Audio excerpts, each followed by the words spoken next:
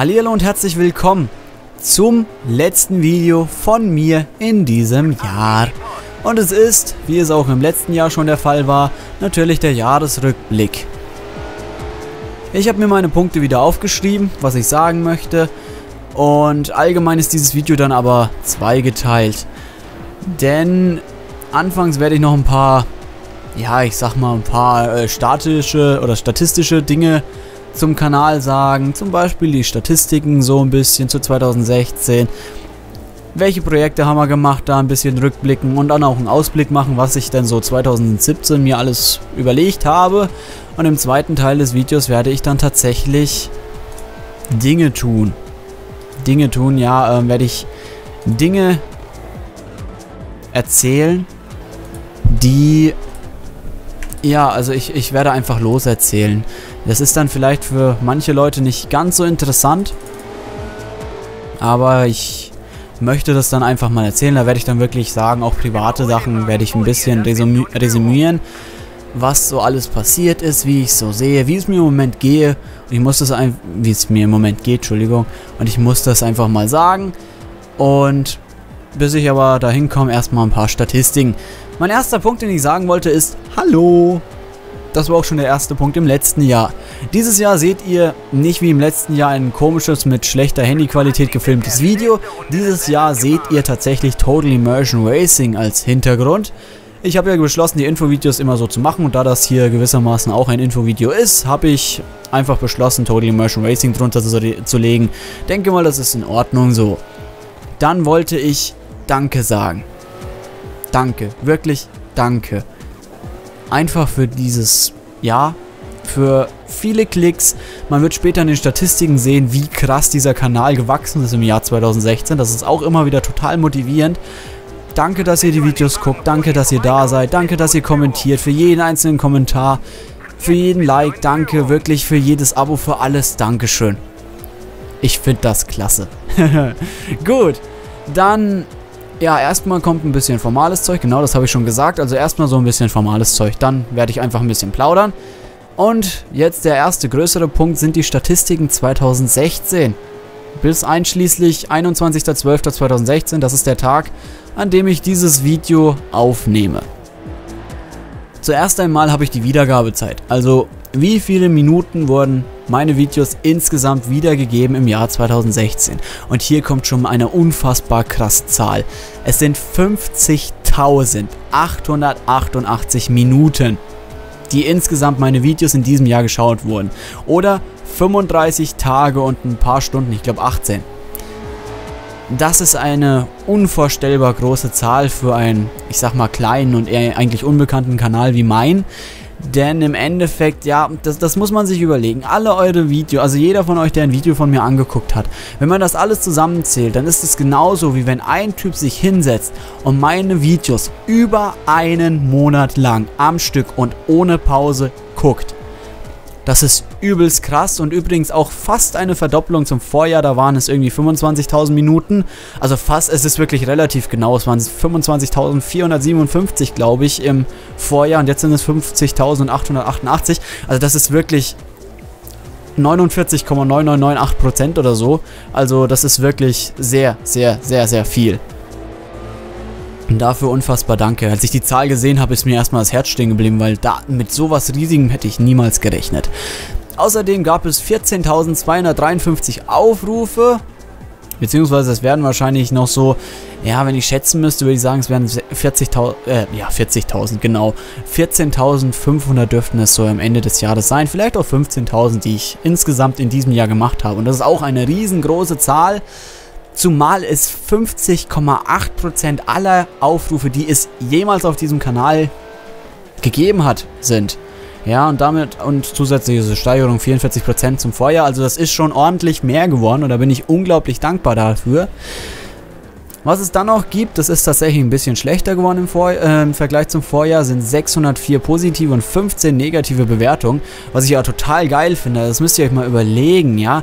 60 zu 15, äh, 600 zu 15. Ja, das ist eine, also das ist 40 mal so viele positive Bewertungen wie negative Bewertungen. Oder anders gesagt, von 40 Bewertungen sind 39 positiv und eine ist negativ. Das ist total krass. Also das, das freut mich wirklich und das zu sehen ist schön. Es ist allerdings ein bisschen schlechter. Also vorher hatten wir, im Vorjahr hatten wir 650 versus 13. Also mehr positive und weniger negativer. Das ist jetzt pff, kein großes Problem. Zumal ich eh nicht so viel auf die Bewertungen gebe, weil ja, hm, mir sind Kommentare eigentlich lieber. Und da ist tatsächlich das Einzige, was 2016 deutlich schlechter war als 2015. Die Kommentare sind von 1609 Kommentaren im Vorjahr, also 2015, auf 653 dieses Jahr runtergesunken. Das ist sehr, sehr schade und hat mich sehr traurig gemacht. Ist aber auch damit begründet, dass ich einfach Total Immersion Racing hauptsächlich 2015 Let's Played habe und Total Immersion Racing eigentlich jede Folge extrem viele Kommentare hatte. Zumal ich 2015, das, da komme ich später auch noch dazu, viel mehr Up, äh, Content geliefert habe eigentlich. Ja, 48 neue Leute haben zu meinem Channel gefunden. Das ist ganz cool. Freut mich extrem. Von den 100, also im Moment habe ich 130, 48 davon sind 2016 dazugekommen. Versus 29 Abonnenten, die uns, oder ja, die uns, die meinen Channel, äh, von den 82 glaube ich, oder zu den, ach, den Satz habe ich verkackt. Versus 29 Abonnenten, die im Vorjahr die Zahl auf 82 gehoben haben. So, also Anfang des Jahres 2016 hatte ich 82 Abonnenten, bin dann auf 130 hoch, um 48.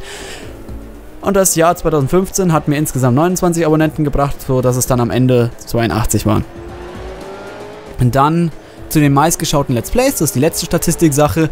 Und das ist ziemlich lustig, denn ähm, die meistgeschauten Videos sind nie Let's Plays, das kann ich gleich sagen, sondern immer zwei Tutorials, die ich gemacht habe, nämlich einerseits ein Magic YOV Tutorial mit mittlerweile 1400 Aufrufen oder so. Ne, warte, ein MSI Afterburner Games aufnehmen Tutorial mit 1400 Aufrufen und ein Magic YOV Tutorial mit 500 Aufrufen mittlerweile. Danach kam letztes Jahr Besiege mit, ich glaube, ja, die Aufrufzahl 2015 ist relativ egal, weil es nicht richtig, oder doch? mit 353 Aufrufen, glaube ich. Dann kam ein Part Total Immersion Racing mit 200, noch ein Besiege-Part auch mit 200 ungefähr. Und dieses Jahr, also 2016, waren es tatsächlich sechs Parts von Total Immersion Racing, die allesamt die meist aufgerufenen Videos waren. Ja, also das war irgendwie so 350 bis 198 irgendwo, so in dem Bereich sind diese sechs Videos. Was ich ziemlich lustig finde, denn Total Immersion Racing ist tatsächlich so das, was diesen Kanal ordentlich ziehen lässt. Eigentlich war es ziemlich blöd, das Let's Play zu beenden, aber egal. Was soll es? Das Spiel ist halt auch irgendwann einfach mal durch, leider. Da muss man sich Neues suchen. Dann, ja, was war die erste Folge? Das ist auch interessant, das ist, denn das ist ziemlich lustig. Die erste Folge war Need for Speed Undercover Part 8 am 7. Januar. Das ist tatsächlich insofern lustig, weil ich am 7. Januar, weil mein Kanal dann nicht in ganz einwandfreiem Zustand war, weil und das hat mich ja ziemlich aufgeregt. 2015 gegen Ende habe ich Pokémon Channel Let's Played. Was ist mit Pokémon Channel äh, passiert? Da ist ein Anime gezeigt worden, also so ein kleiner Pokémon-Anime. Und die Rechte an gezeichnetem Pokémon-Material, also an Anime und Manga und so, die hat nicht Nintendo. Nintendo hat nur die Rechte an den Spielen. Tatsächlich hat irgendeine andere Kooperation, also irgendeine andere Firma hat da die Rechte dran und die haben mir eiskalten Strike reingedrückt für genau diese Pokémon Channel Folgen, so dass ich Anfang des Jahres echt ein ziemliches Problem hatte. Ich war irgendwie so an, weiß ich gar nicht, also bis 19. Januar zählte das, das war irgendwie so ein Probestrike, also das war gar kein richtiger, sondern das war irgendwie nur so ein, so ein, ja, so, so ein irgendwie irgendwas Strike, keine Ahnung. Und der lief dann nach einem Monat am 19. Januar ab, was mich auch mega genervt hat. Und im Endeffekt habe ich dadurch Anfang Januar kaum Videos hochgeladen, was dann dummerweise fortgesetzt wurde, weil ich genau ab dem 20. Januar irgendwie, glaube ich, Prüfungen hatte. Also das war dann wirklich, da war bis Mitte Februar kam bei mir fast keine Videos, ganz einfach, weil ich gar keine Zeit hatte, was aufzunehmen und vorher keine Videos hochladen wollte, um nicht zu riskieren, dass es wirklich zum vollen Strike wird. Und deswegen habe ich Anfang des Jahres tatsächlich relativ viel oder relativ wenig Aktivität gezeigt. So lange, so muss ich sagen. Vielleicht hätten die oder wären die Werte heute tatsächlich deutlich besser, wenn ich da ein bisschen sogar noch was hochgeladen hätte. Ja, die letzte Folge war dann oder doch mittlerweile, wenn ihr das Video seht, kann man war dann sagen, war The Minish Cap am 31.12. um 17 Uhr. Das letzte Let's Play dieses Jahr. Und Minish Cap hat damit auch geendet und damit auch wunderschönes Jahr beendet. Das hat wunderbar gepasst, habe ich mich drü übelst drüber gefreut, wie ich das gesehen habe, dass genau die allerletzte Folge am allerletzten Tag des Jahres äh, kommt. Das ist jetzt auch vorbei. Was dann der Nachfolger ist, das werde ich auch noch sagen. Dann schauen wir uns mal die Projekte an. Wie ich es gerade schon gesagt habe, bis Februar eigentlich fast gar nichts. Ist nichts gelaufen, so ungefähr. Gemacht haben wir Need for Speed Undercover, das ich ja echt, ich weiß nicht, wie lange haben wir das mitgeschleppt. Das war Anfang des Jahres, war das schon am Laufen und Ende des Jahres irgendwie habe ich das doch erst beendet, irgendwie Oktober oder so. Ne? Also das habe ich auch das ganze Jahr durchgeschleppt irgendwie so. Diablo 3 lief Anfang des Jahres und ist im Laufe des Jahres fertig geworden. Skyward Sword war das erste Projekt, das 2016 gestartet ist auch. Also das erste neue Projekt, sage ich jetzt mal. Sowie auch beendet wurde, genau. Dann ein Let's Play Together haben wir gestartet, der Pazzi, der Nacho und ich. Wobei wir da irgendwie, weiß ich nicht, also da kommen wir ja mittlerweile kaum noch voran. Das kann sich auch noch drei Jahre ziehen, wenn das so weitergeht irgendwie. Wir haben das Stanley Parable haben wir gestartet und beendet und jetzt seht ihr, da sind wir schon irgendwo im Oktober oder so. Also es ist wirklich Anfang, Mitte des Jahres war kaum Aktivität bei mir irgendwie. Ich meine, Skyward Sword war lange Zeit mein einziges Projekt, das ich dann auch wirklich täglich gebracht habe. Ich meine, das waren ja 100 Folgen, das sind mindestens 100 Tage, die das kam. Und danach ging es erst weiter. Minish Cap haben wir gestartet, ist das letzte Projekt, das beendet wird. Ford Racing 2 lief zwischenzeitlich und Crazy Machines läuft noch und ist auch das einzige Projekt, das ich mit ins neue Jahr nehmen werde. Interessanterweise sind das zwei Projekte weniger als im Vorjahr. Wobei das aber auch daran liegen könnte, dass ich kein kurzes Projekt dabei hatte, sondern die alle mindestens mal so 30 Parts hatte. Und im Vorjahr war es so, dass ich zum Beispiel Octodad mit 6 Folgen hatte und Autobahnraser 4 mit 4 Folgen. Genau. Dann, um nochmal den, den, die, die Verbindung zum Rückblick von 2015 zu ziehen, da habe ich einen Ausblick gehabt und da wurden unter anderem Gothic und Diablo 1 angekündigt. Beide habe ich tatsächlich leider nicht geschafft. Wobei ich auch nicht weiß, wann ich sie machen werde. Im Moment ist es so, wenn Zelda läuft, habe ich schon ein sehr storylastiges Spiel. Und Zelda wird noch lange Zeit laufen. Und da ist es halt irgendwie komisch, wenn ich dann ein zweites habe. Da könnte es tatsächlich sein, dass die Aktivität auf dem Channel leider komplett zurückgeht. Deswegen versuche ich immer als zweites Spiel irgendwas zu haben, das anders ist. Das nicht durch Story irgendwie besticht, sondern vielleicht ein gutes Rennspiel ist. Oder weiß ich nicht, ja, äh, Crazy Machines zum Beispiel, so ein Rätselspiel, irgend sowas. Das sind so Sachen, die ich im Moment äh, eher versuche. Genau. Dann habe ich auch noch einen kleinen Ausblick.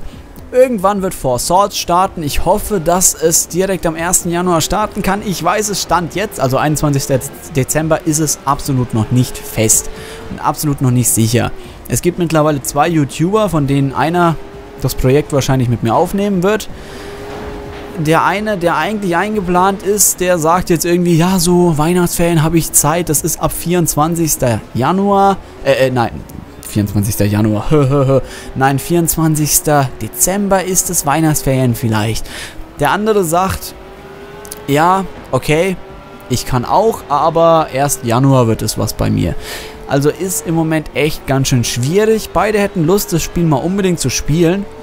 Aber ist zeitmäßig ein bisschen schwierig. Schauen wir mal. Was auf jeden Fall auch starten wird, ist natürlich dann Ocarina of Time. Da freue ich mich auch schon extrem drauf, weil es ja ein Spiel ist, das ich tatsächlich so noch nie durchgespielt habe. Ich habe es weit gespielt, aber immer nur die Story und noch nie durch, also keine Sidequests und so. Das wird auch definitiv auf 100% kommen. Ebenfalls starten wird wahrscheinlich irgendwann 2017 ein Mario Kart sowie das Gamecube-Spiel Rally Championship, wenn ich den Namen richtig in Erinnerung habe.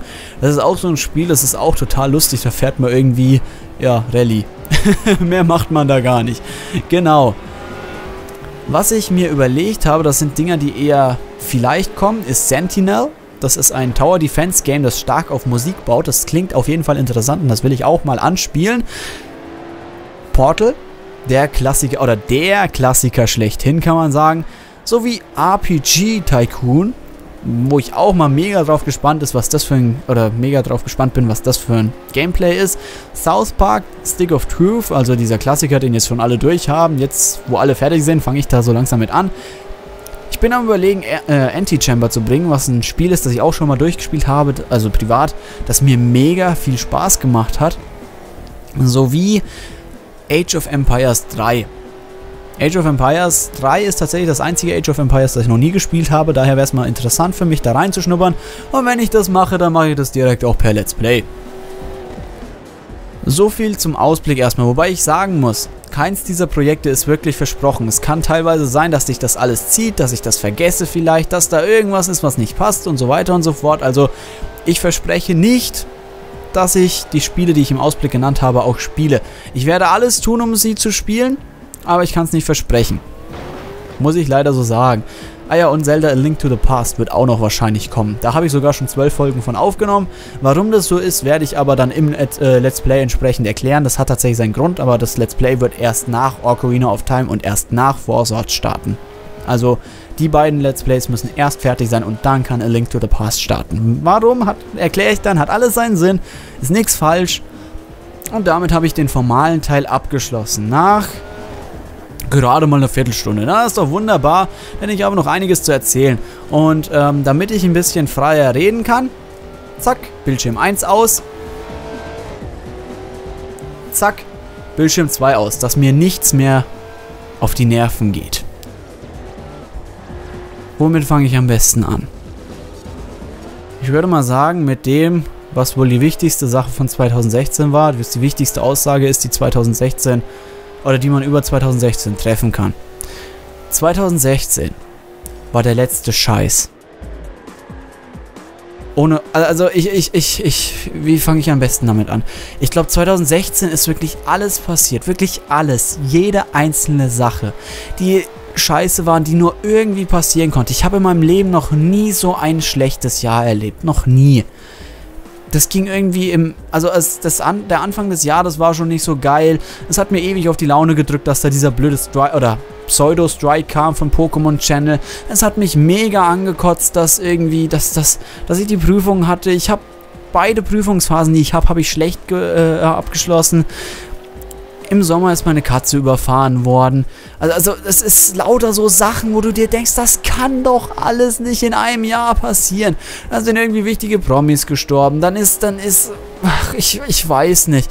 Ja, jetzt gegen Ende des Jahres war ich nur noch unter Zeitdruck. Mach deine Ausbildungsprüfung, mach dein, mach dein IHK-Projekt, mach dein, mach deine Dokumentation, mach das alles, mach, mach, mach, mach, mach.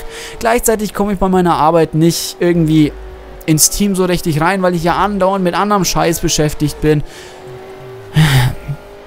Und wenn das nicht schon genug wäre, hat das Mädchen, das ich, also in das ich so ein bisschen verschossen war, mir vor einiger Zeit tatsächlich äh, veröffentlicht oder eröffnet, dass sie einen Freund hat, der natürlich nicht ich bin. Also wirklich alles, was irgendwie negativ sein könnte, was irgendwie scheiße ist, es ist zusammengekommen dieses Jahr. Mit meinen Freunden geht es irgendwie bergab, da ist keinerlei Aktivität mehr, die komplette Gruppe ist auseinandergefallen.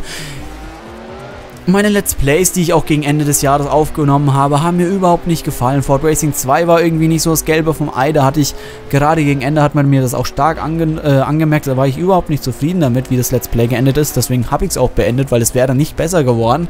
Minish Cap war auch irgendwie entgegen meiner Erwartungen irgendwie scheiße. Ich habe es nicht hingekriegt, keine Ahnung. Und so läuft das durch im Endeffekt. Und das ist irgendwie überhaupt nicht schön. Jedenfalls, wenn ich könnte, würde ich 2016 tatsächlich einfach nehmen und in die Tonne treten. Und das Schlimmste daran ist, ich habe das Gefühl, dass 2017 genau derselbe Dreck wird. Mittlerweile bin ich wirklich dabei, mich an 2018 festzuklammern, weil 2018 mein Studium vorbei ist und ich dann tatsächlich ein normaler, kompletter, ich sag mal, Angestellter sein werde. Ich werde ein Mitarbeiter sein, ich werde hoffentlich in der Firma übernommen, in der ich so gerne übernommen werde, werden möchte, in der ich auch im Moment arbeite und ähm, das wird aber erst 2018 geschehen. Dann habe ich hoffentlich meinen Bachelor. Dann ist der ganze Dreck mit den Prüfungen vorbei. Ich hasse Prüfungen. Und mittlerweile bin ich wirklich an dem Punkt, ich kann mich nicht mehr dazu überreden, irgendwie zu Prüfungen zu lernen und Prüfungen zu schreiben. Ich hasse es. Ich hasse, hasse, hasse Prüfungen. Ich bin überhaupt kein Prüfungsmensch. Dennoch ist es natürlich so, ein Bachelor musst du ja heutzutage leider haben, weil unser Schulsystem ja der letzte Scheiß ist. Und weil man halt einfach, weiß ich nicht, ja, weil man heute, wenn man Friseur Lehrling sein will oder so, muss man ja auch schon Abitur haben mittlerweile. Also, das ist mittlerweile alles nicht mehr schön. Und statt dass das irgendwie mal besser gemacht wird. Hilfe, das gerade eine. War das eine Maus? Oh, das ist ein Stock höher, das ist mir egal. jedenfalls alles, was irgendwie scheiße ist, statt dass man dieses Schulsystem mal wirklich gescheit ausbessert. Nein, da hast du stattdessen Politiker, die irgendwie, weiß ich nicht, die komplett an den Grundrechten arbeiten, die das alles löschen möchten, die irgendwie Maßnahmen einführen, die so nah an Zensur sind, dass, dass, dass du sich an den Kopf fasst und fragst, wie kann man sowas nur überhaupt bedenken? Wie, wie kommt man auf die Idee, das auch nur ins Auge zu fassen, ja? Gleichzeitig hast du diese Dreckspartei von der AfD, wo es noch Flücht flüchtlingsfeindlich ist und da hast du nicht gesehen, alles ist irgendwie scheiße, ja? Und dann hast du noch einen Haufen Idioten, die auf Populismus reinfallen. Du hast wirklich... Ach, ich weiß nicht. Und tatsächlich muss ich sagen, um jetzt mal einen Bogen ein bisschen zu spannen, danke. Danke an alle, die dieses Video tatsächlich bis hierhin geschaut haben. YouTube ist für mich etwas Besonderes. Es ist etwas, was ich mittlerweile einfach nur noch brauche, wovon ich fast schon abhängig bin, um es so zu sagen. Nicht, weil ich da irgendwie nur Spaß dran habe oder davon leben möchte oder so, sondern YouTube ist dieser eine Ort, dieser eine einzige Ort auf der ganzen Welt, an dem ich sein kann, wie ich möchte, an dem ich vollkommen ich selbst sein kann. Ja, wenn ich zum Beispiel, weiß ich nicht, in Minish Cap anfange zu brüllen oder total demotiviert bin oder was, dann ist das nicht nur Frust über das Spiel oder Frust darüber, dass ich nicht gut spiele oder sowas, sondern da schwingt immer Frust aus meinem realen Leben mit, wo es mir in diesem Jahr echt nicht gut ging, wo von Anfang bis Ende irgendwie immer der Wurm drin war, wo der eine gestorben ist oder der andere, wo mal das kaputt gegangen ist, wo mal hier was nicht gepasst hat, wo meine Freunde irgendwie den Kontakt nach und nach abgebrochen haben, wo der Urlaub scheiße war, ja, das ist auch noch passiert all das hat mich unglaublich gefrustet. Aber ich, ich kann ja nicht, ich, ich bin niemand, der sich traut, sich irgendwie gegen andere Menschen zu erheben, der wirklich den Streit sucht und sich da irgendwie extrem mit anderen kloppt oder so, was weiß ich, ja. Und ich brauche irgendwas zum Abreagieren und YouTube erfüllt diese Aufgabe wundervoll und ich bin so unfassbar dankbar dafür. Für jede einzelne Sekunde, die ihr mich schaut, die ihr vielleicht mit mir redet, die ihr kommentiert, das ist das Allerschönste, was mir passieren kann. Ich kann hier einfach mal jemanden anbrüllen. Ja? Und im realen Leben, da wo ich nicht anbrüllen kann, wo ich vielleicht meinen Arbeitgeber nicht zusammenscheißen kann, wo ich meine Mitstudenten nicht zusammenscheißen kann, wo ich all diese Menschen, weil ich ihre Gefühle nicht verletzen möchte, wo ich sie alle nicht irgendwie angehe oder so, das kann ich mal hier machen, da kann ich mal sauer sein, da kann ich mal rumbrüllen, da kann ich das alles. Ja? Und danach bin ich im realen Leben auch wieder ruhig und habe meine Ruhe. Ja, das ist so unfassbar gut und ist wirklich das Beste, was mir passieren konnte. Und dafür, dass ihr mir dazu hört, jedes Mal wieder ein unglaublich fettes Danke. Ihr seid echt klasse und ich finde das super von euch. Ja, ich weiß nicht. 2016 ist irgendwie der letzte Scheiß. das kann man so sagen. Aber ich habe auch tolle Dinge angefangen. Ich habe Skyward Sword gespielt, was ein Spiel war, das mir tatsächlich sehr großen Spaß gemacht hat. Ich habe allgemein angefangen, die Zelda-Timeline durchzuspielen. Etwas, womit ich jetzt mit viel Spaß dahinter sitze. Ich habe, das ist im privaten Bereich, Four Swords einmal schon komplett zu 100% durchgespielt, was auch unfassbar viel Spaß gemacht hat. Das war mit einem Kumpel zusammen. Das waren echt so die schönsten Spielstunden, die ich tatsächlich in letzter Zeit hatte. Leider wollte der Kumpel nicht mit auf die Aufnahme drauf, weswegen wir das jetzt nicht aufnehmen und hochladen konnten. All das war möglich. Und ich bin so unglaublich glücklich da darüber. Ja, und da fällt auch das viele Negative, und es ist wirklich extrem viel Negatives, was dieses Jahr zusammengekommen ist. Das fällt dann auch gar nicht mehr so eich ins Gewicht. Das stört mich dann nicht mehr so. Und das, das ist dann auch wirklich, ja, ich weiß nicht, das alles ist im Zusammenhang mit YouTube. YouTube ist wirklich im Moment dieser eine Lichtblick, den ich habe, sage ich jetzt mal, ja. Weil einfach alles scheiße ist. Ein anderes Beispiel, auch was, was extrem frustrierend ist, ja. Ich spiele, das weiß man vielleicht in, ein, in einer Jugendkapelle. Also da spielen wir so böhmisch-mährische Blasmusik und so Zeug, ja. Ich liebe diese Musikrichtung auch, ich bin damit groß geworden. Das ist tatsächlich eine der Sachen, die wirklich zu meinem Leben dazugehören und die ich niemals, wirklich niemals missen möchte in meinem Leben. Jedenfalls, diese Kapelle gibt es seit vielen, vielen Jahren. Jedes Jahr ein Weihnachtskonzert in der Kirche unseres Dorfes.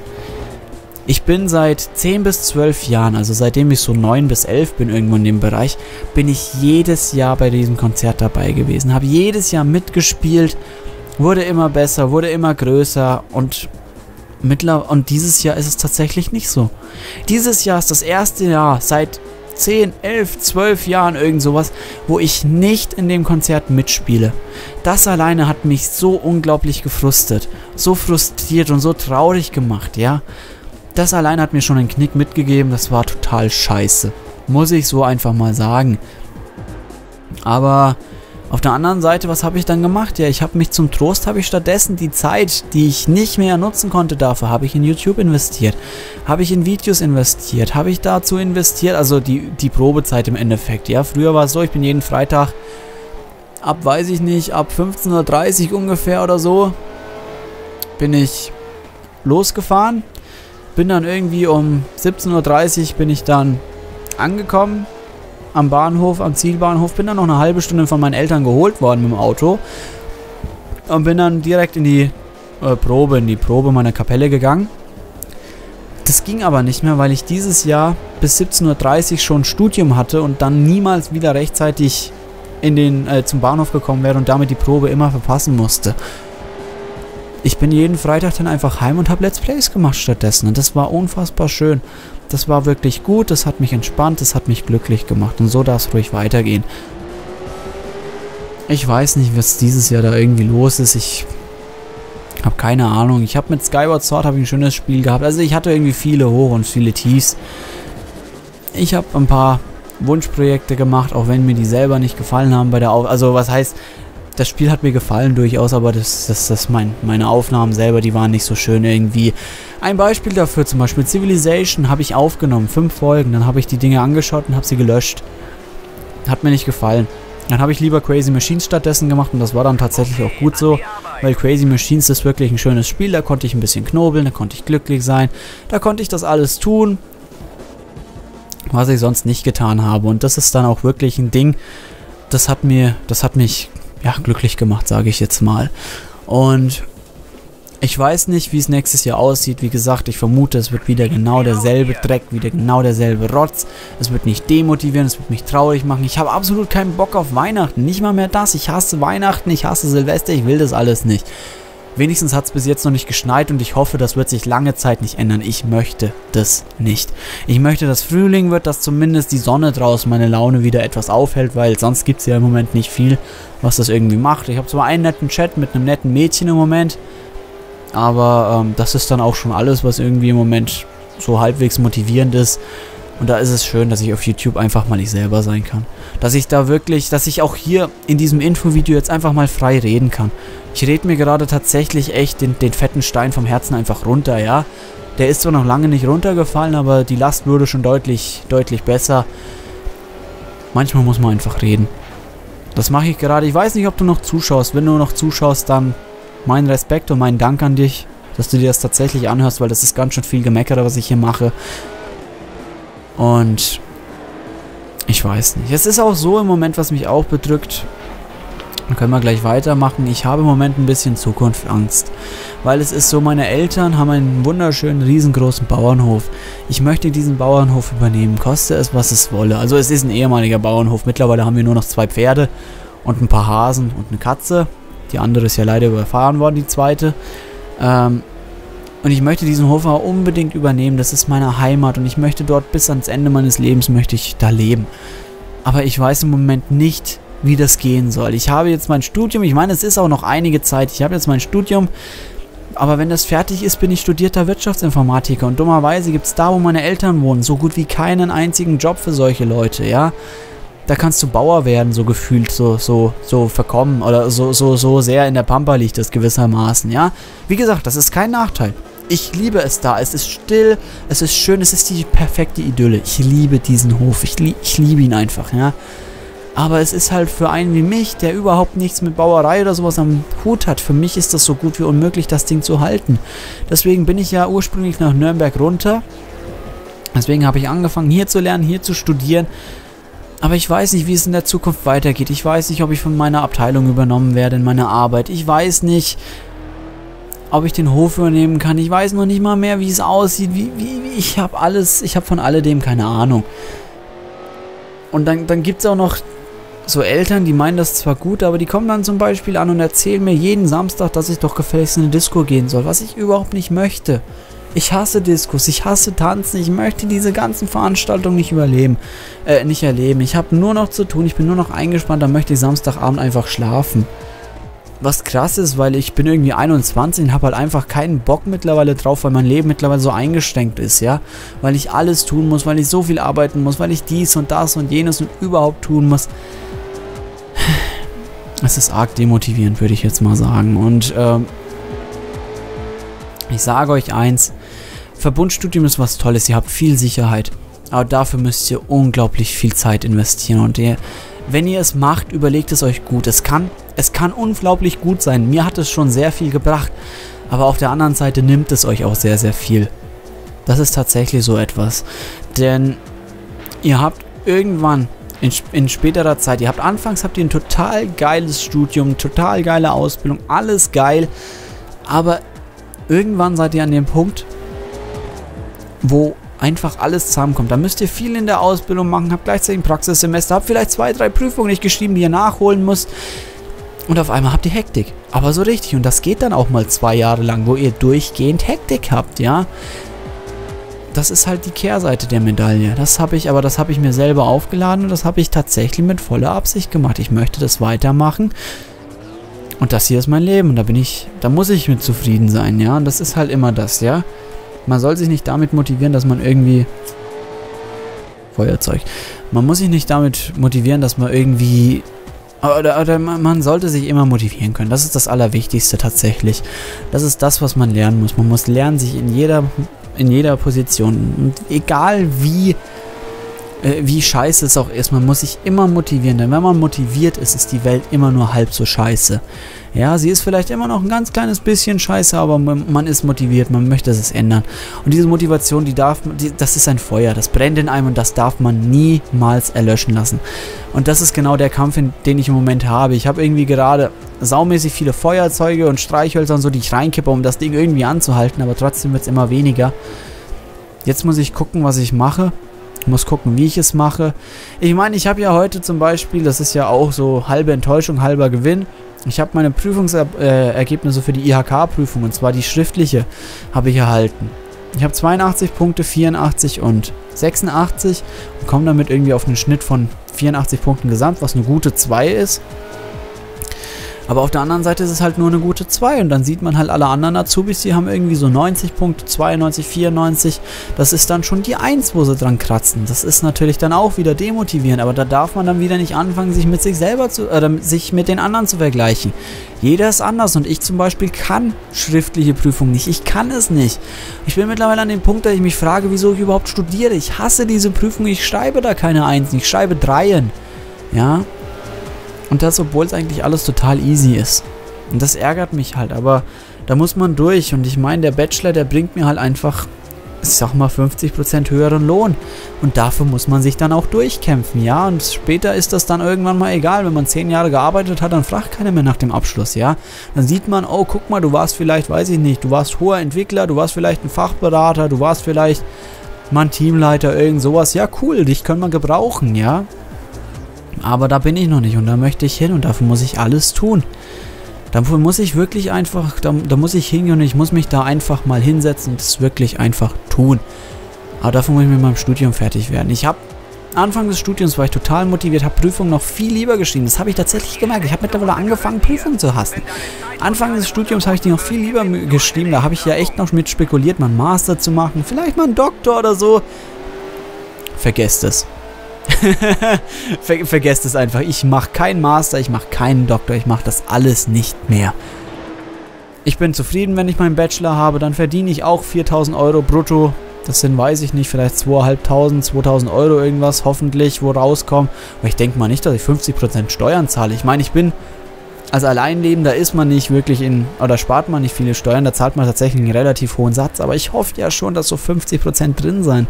Oder wie, wie war die, der Maximalsteuersatz? Ich glaube 53%. Ja, das sind dann 1700, 1800 Euro, die ich netto im Jahr habe. Ist eigentlich lächerlich. Im Moment verdiene ich als Azubi irgendwie 1300 Euro im Monat, kriege ich davon 900. Später sind es 3800, 4000 Euro irgendwo, die, mit denen ich dann arbeiten werde. Und davon kriege ich dann im Endeffekt, weiß ich nicht, 1700 oder so. Das ist schon ganz schön krass. Ja, wie viel da dann auf einmal weggekürzt wird, was eigentlich schade ist. Da sollte man vielleicht als, oder da sollten die Politiker vielleicht auch mal anfangen, die Steuersätze wieder ein bisschen hochheben, weil, ja, die Inflation kommt, man kriegt nichts mehr für Kredite, da wäre es schon schön, wenn man zumindest ein bisschen mehr von dem Geld noch hätte, ne? Aber darum geht es jetzt hier gar nicht, ja, und das ist, zurück zum Thema, ich muss mich halt einfach da motivieren. Sobald ich erstmal arbeiten werde, bin ich der glücklichste Mensch auf der Welt. Dann kann ich einfach wirklich mal ein ganzes Jahr einfach arbeiten. Das habe ich 2013 bis 2014 gemacht. Das war das schönste Jahr, das ich bisher erlebt habe tatsächlich. Also Ende 2013 bis Ende 2014 war das so, Oktober glaube ich jeweils das war das schönste Jahr, das ich erlebt habe. Ich konnte mich hinsetzen, ich konnte einfach arbeiten. Ich war mit coolen Leuten im Team, ich hatte viel Spaß, ich war da, ich, ich konnte viele neue Dinge lernen. Ich musste mich nicht, ich hatte keinen Stress, keinen Prüfungsstress. Ich war wirklich, es war das schönste Jahr, das ich bisher erlebt habe. Und danach wurde tatsächlich, seitdem geht es eigentlich da, da nieder. Also seit Ende 2014 sinkt alles immer weiter ab. Und ich hangel mich mittlerweile unfassbar fest auf 2018. Einfach mit dem Ziel, dass ich wirklich, wirklich, wirklich einfach in das Berufsleben ein, einsteigen kann. Es ist so unfassbar schön. Es ist nicht scheiße. Es ist, es ist wirklich, ich, ich habe da viel mehr Freude und ich bete. Ich bete wirklich jeden Tag, jede Sekunde bete ich im Endeffekt, dass es näher kommt. Ich zähle jetzt schon, ihr seht es ja, ich zähle jetzt schon die Tage. Laut Plan ist es wirklich so Februar 2018. Es wäre der geilste Februar aller Zeiten, ja. Und dann einfach erstmal arbeiten. Es ist unfassbar schön, glaubt es mir, ja. Also zumindest als Informatiker arbeiten ist viel, viel schöner als Informatik studieren, weil Informatik studieren, es macht einfach keinen Spaß irgendwann mehr. Ich möchte praktisch arbeiten, ich bin ein sehr praktischer Mensch, aber für praktische Menschen gibt es leider keine Möglichkeit, ein Studium zu kriegen. Zumindest nicht in Informatik, das ist alles theoretisch. Und das ist sehr, sehr schade. Das ist auch wirklich was, was man dringend überarbeiten muss. Zu sagen, ja, den Bachelor gibt es und das ist theoretisch hilft nichts. Ich meine, klar, dass Master und Doktor theoretisch sind, ist klar. Master Spezialisierung auf ein theoretisches Gebiet und Doktor ist dann wirklich Forschung in einem neuen Gebiet. Das sind theoretische Sachen. Da muss man Dinge verstehen. Aber den Bachelor würde ich vielleicht einfach noch ein bisschen praktischer ansiedeln. Dass das nicht nur so viel Theorie ist, so irgendwie so die Grundtheorie, sondern dass man da auch noch mehr Praktisches reinbaut. Ich bin schon an einer Hochschule, die sehr praktisch ist, aber es reicht mir noch nicht mal mehr annähernd. Das ist alles so ein hochtheoretischer Dreck, ja, das ist nicht mehr feierlich. Macht mir keinen Spaß, so muss man sagen. Was dann auch interessanterweise, was mich auch mega, mega, mega demotiviert, ist tatsächlich die Tatsache, dass Leute, die nichts können, bessere Noten schreiben als ich. Und mit nichts können meine ich, die können eine Sache, nämlich auswendig lernen. Mehr können die nicht. Aber das Auswendiglernen haben die derart perfektioniert, dass die dann mit Zweier aus oder mit einem Zweier, mit einer 2-0 aus der Prüfung rausgehen, während ich 2, 7 oder 3 habe. Und das kotzt mich an, weil ich derjenige bin, der es versucht zu verstehen. Aber das ist heutzutage gar nicht mehr wichtig. Man macht sein Abitur, indem man auswendig lernt. Man macht seinen Bachelor, indem man auswendig lernt. Und ich wette, was im Master ist genau derselbe Dreck. Und das finde ich schade, das finde ich unfassbar schade, ja. Wenn man dann unbedingt das Denken fördern will, dann sollte man das Denken auch fördern und nicht das auswendig lernen. Es war im Abitur total krass bei uns. Wir waren 54 Abiturienten und irgendwie fünf oder sechs von denen sind durchs Abitur gekommen, indem sie auswendig gelernt haben. Die konnten nichts. Also das, das ging los wirklich mit mathematischen Gleichungen irgendwie. Du hast irgendwie eine relativ einfache mathematische Gleichung gehabt, irgendwie so weiß ich nicht, irgendwie x plus 3 in Klammern durch 5 ist gleich a mal 2 plus 5 in Klammern mal 6 durch 5, irgendwie sowas, ja? Und dann wurde gesagt, ja, jetzt mach mal hier, löse mal nach x aus. Oder so, das konnten die nicht. Das, kon das können die nicht. Und die haben Abitur geschafft. Die haben ihr Abitur abgelegt. Die konnten einfache, grundlegende mathematische Dinger nicht. Ja, und da, da ist doch irgendwas kaputt am System. Verstehe ich nicht, ja? Ich, ich meine, und, und dann sehe ich irgendwie, da haben saumäßig viele irgendwie, teilweise nur mit auswendig lernen, mit, mit geschickter äh, äh, Fächerbelegung, haben die teilweise 1 Abitur. Wir hatten irgendwie ein 1-0er oder ein 1-3er oder sowas im Abi, was ich total krass fand, ja. Dann kommt halt raus, ja, irgendwie, ja, wir sind am naturwissenschaftlichen Gymnasium, aber der hatte nicht mehr, mehr eine Naturwissenschaft in Abi, weil das ist ja auch der nächste totale Scheiß, wo ich mir denke, was ist los mit euch, Leute? Ist tatsächlich erlaubt, im Abitur an einem naturwissenschaftlichen Gymnasium die Naturwissenschaft abzuwählen, sodass man irgendwie, weiß ich nicht, zwei Sprachen hat und dafür dann keine Naturwissenschaft.